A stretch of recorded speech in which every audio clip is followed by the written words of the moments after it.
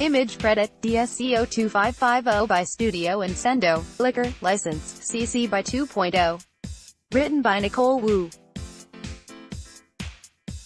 Hong Kong has endured nearly five months of escalating protests since they started in June 2019. Streets filled with tear gas, mass transit shutdowns and roadblocks have become the order of the day in a city that is known for its convenience and vibrancy. Where do the people of Hong Kong stand on this ongoing action? A broad consensus despite ostensible polarization on the surface, there seems to be a polarization of emotions and attitudes.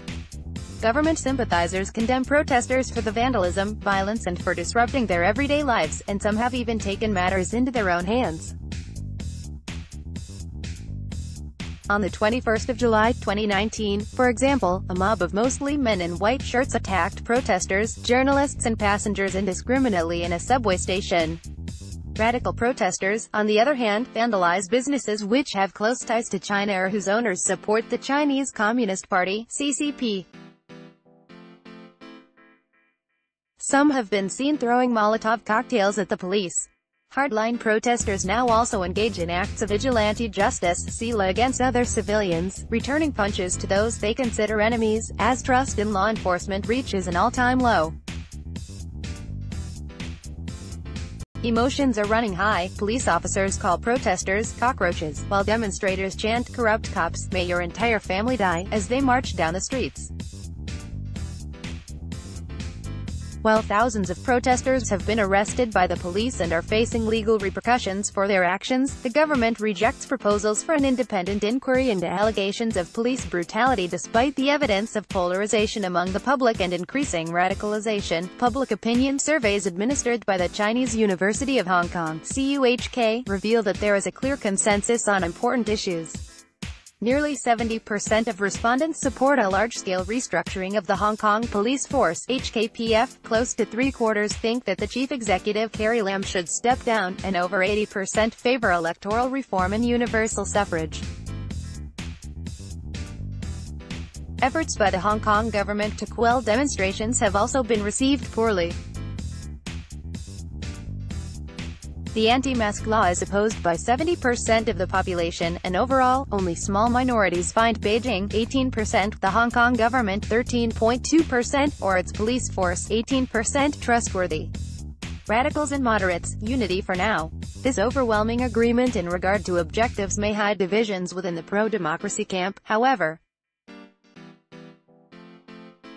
The same CUHK poll suggests that a sizable group of people potentially disapprove of the tactics used by radical protesters. 67% of respondents either strongly agree or agree that protests should always adhere to the principle of peaceful nonviolence. The slogan, don't distance yourself, don't snitch, boogie shibudue is frequently heard within the pro-democracy camp. Moderates are asked to bite their tongue as radical protesters hurl bricks, set up block roads, and vandalize the public infrastructure. This unity has been tested on several occasions, but so far the alliance has remained intact. Radical protesters seek to and are largely able to retain the moral high ground. After a small minority of protesters assaulted two men from the mainland, activists apologized to the public, making it easier for moderates to overlook the misconduct.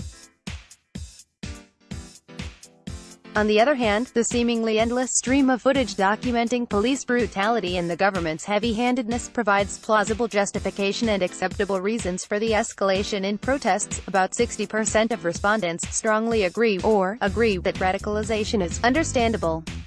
While thousands of protesters have been arrested by the police and are facing legal repercussions for their actions, the government rejects proposals for an independent inquiry into allegations of police brutality. Yet while these indicted protesters present no threat to the rule of law, the government does. The colonial-era emergency law invoked by the Hong Kong government in October 2019 is in many ways more draconian and authoritarian than the extradition bill that triggered the mass rallies in the first place. It allows the executive to make any regulations whatsoever which it may consider desirable in the public interest, including but not limited to the censorship of communications, the entry and search of premises, and the confiscation of property. The Emergency Regulations Ordinance is hugely unpopular even amongst moderates. 77% of respondents believe that the government should end its use of the law. Whether the current alliance between the radicals and moderates is sustainable is open to question. Divisions have always existed within the pro-democracy camp, particularly over strategy. In 2010, for example, the Democratic Party did not participate in the much-debated five constituencies referendum, wherein liberal legislators resigned from their positions to trigger a city-wide by-election to let voters voice their opinions through the ballot box. And after the end of the umbrella movement in 2015 a 79-day Occupy protest, localist groups embracing notions of Hong Kong's self-determination, emerged and criticized the traditional pro-democracy camp for its moderate tactics. It's about rights and due process The 2019 protests, which have been unique in their size, scope and duration in the city's recent history, began and are continuing largely because of the desire to protect existing rights and civil liberties.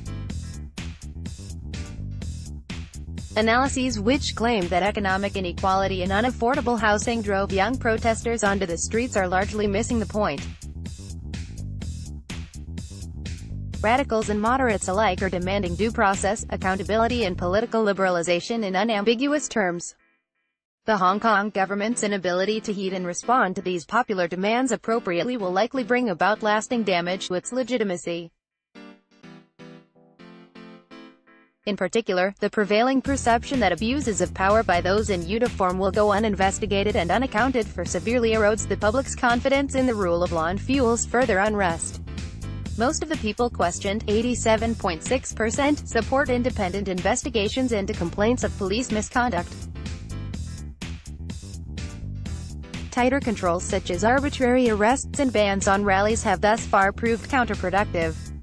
Until the lame duck government in Hong Kong is authorized by Beijing to make meaningful concessions, and absent an unprecedented and perhaps catastrophic military intervention, the city's protests may have no end in sight.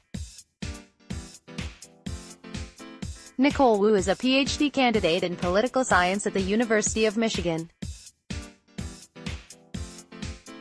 Her research and teaching interests include international and comparative political economy, public opinion, politics of technology, and Chinese politics. Asterisk articles published by the Asia Dialogue represent the views of the authors and not necessarily